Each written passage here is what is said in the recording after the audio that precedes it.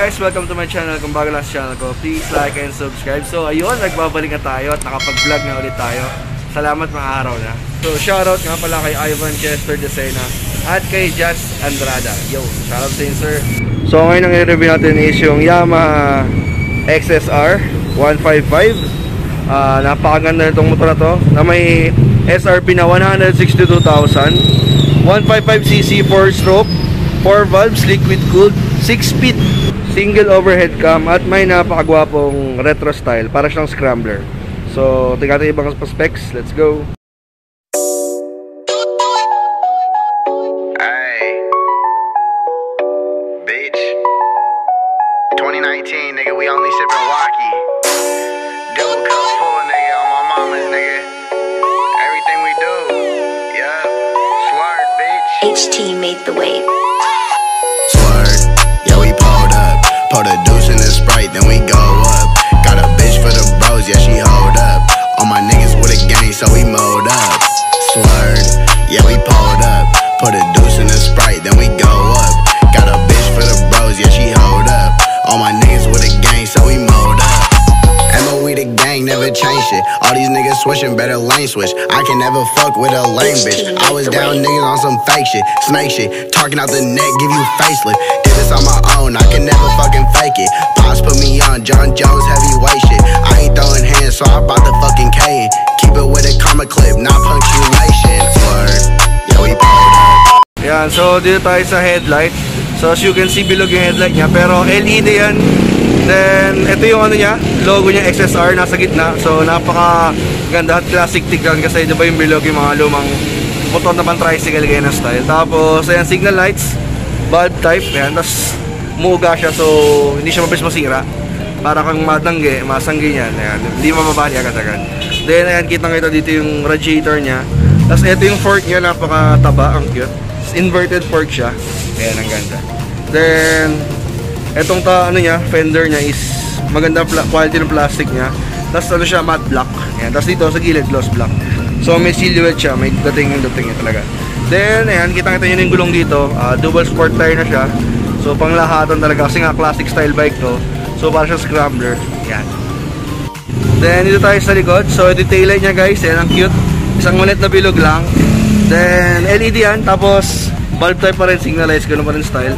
Then, ito siya, ang cute. Yung fender niya, isang diretsyon pa bang gano'n. So, ayan yung tsura niya. Tapos, may plate light siya, reflector. Lagay ng plate. Yan. So, ito yung tsura ng gulong sa likod. Dual sport din, ang ganda. Then, yung tsura ng pipe niya. So, maganda na rin. Meron rin siyang yung ano, muffler tip cover. Yan. So, dito tayo sa panel gauge. So, yung panel gauge niya all digital na. So, dito makikita lahat speedometer, tachometer. Meron pa dito check engine, tapos trip meter. Yan. So, diyan mo makikita kaso hindi pa activated tong unit ko. Ito yung susian guys. So, shutter key siya. So, maganda ito anti-nakaw na rin. So, ayan. Basic na basic lang. So, nakalagay siya sa may tangke. Yan. So, ayan. Pag sinat mo to, maglalak yan. So, medyo mahirapan niya magnakaw. Goods. So, ito nga pala yung handlebar niya guys. So, yan. Medyo low rise siya. So, napakaganda. Classic na classic talaga. Then, ito tayo sa left side. So, ito yung grip, yung clutch. Then, may pass light dito, passing light.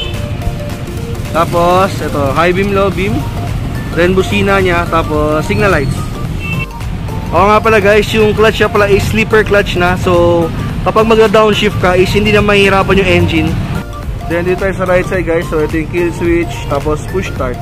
Ay, yung start, ito na rin. Ayan. Ini-slide lang. Tapos, naka quick release na rin yung throttle niya. Ayan. So, nakahiwalay dyan. Tapos, ito yung front brake. Then, dito tayo sa tangke guys. So, ito yung cover niya. May plastic na itim. Then, XSR na logo. Tapos, ito yung kabuuan ng tangke niya guys. Napakaganda. Ayan. Matte black. Tapos, may, may fuel tank capacity siya na 10 liters. So, goods na goods pang long ride. So, napakaganda, no? Ayan. Then, guys, ito nga pala yung silya niya. Ayan. So, sobrang classic retro style talaga siya. So, naka-leather siya na black. Tapos, may hiwa-hiwa siya dito. Ano. So, kapit na kapit talaga dito yung suot mo. So, ayan. So, ayan siya. Flat siya tignan. Pero malambot naman siya. Patry sa akin mamaya. So, ayan guys. Sinakyan natin tong XSR 155. So, kitang-kita nyo naman. ah, medyo naka, nakatingked talaga tayo. Ayan. So, hindi kaya ng dalawang paa. Pag dalawang paa talagang super tip toe pag yung dalawang paa. Ayan, oh, hindi ka paabot, oh. Ayan. Tapos yung seat style naman niya, saktong ano lang, saktong yuko lang. So, yun.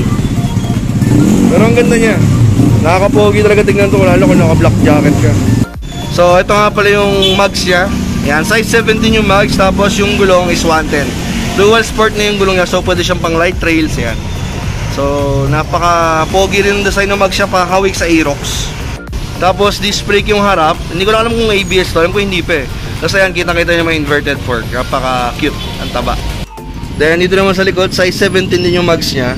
Tapos yung lapad ng gulong is 140. Tapos, ayun, ang ganda-ganda talaga ng style ng gulong niya. Nakaka-attract talaga. Nakakalapad, nakaka-macho tignan. Tapos, disc brake na rin yung likod niya. Yan. Tapos yung swing arm nga pala guys, aluminum. Ayan, full aluminum siya. Tapos ayun, naka single mono, monoshock siya. Ayan nga pala yung tsura ng Yamaha XSR 155 side view. So, di ba napaka brusco tingnan. Tapos matte black pa yung combination ng kulay niya. Saka gloss black, di ba? Napakaganda. So, check natin yung iba pang specs. So, ayan. Ito, hindi ko alam kung ano to. Sorry. Ito yung radiator niya. Then, ayun yung lagay ng coolant. Tapos yung engine niya. Yan. Tapos yung foot brake.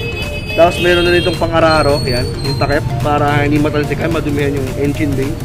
Tapos ayun yung pipe niya. Tapos ito yung heat guard ng pipe. Tapos naka-muffler tip nga siya. So, yan. Itsura niya.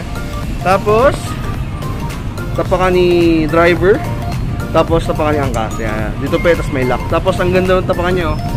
Kapit na kapit talaga, hindi ka dudulas dyan. Tusok ka pa pag nagkamali ka dyan.